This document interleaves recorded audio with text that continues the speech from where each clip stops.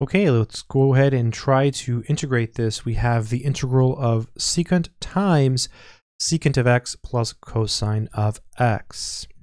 So to do this, a good first step might be to just distribute the secant and see what happens. So we have our integral sign here.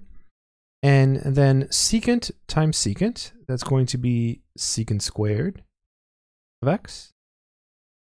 And then plus secant times cosine is going to be secant times cosine. And then we have our dx here. So just start off by distributing because we don't really have you know an easy way to just immediately do this problem. So it's a good first step is to just take this and multiply it by each of these.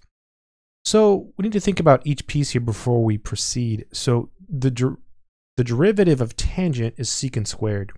So when we integrate secant squared, we're going to get the tangent function. So that's that's pretty simple.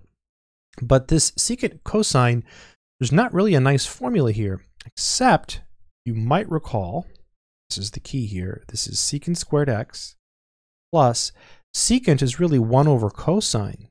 So this is 1 over cosine x times cosine x.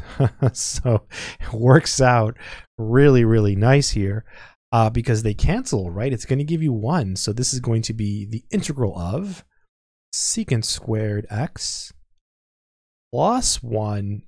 Beautiful, right? dx. What a cool problem.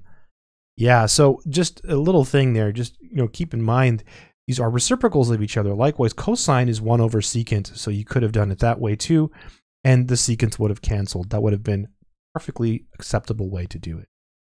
So now we're integrating, so let's think backwards again. What's a function whose derivative is secant squared? Well, tan x right? The derivative of tangent is secant squared. And to integrate 1, since it's a constant by itself, you just tack on an x. So it's just x. And it's not quite right yet. We still need our constant of integration, capital C. That would be a perfectly acceptable answer to this problem.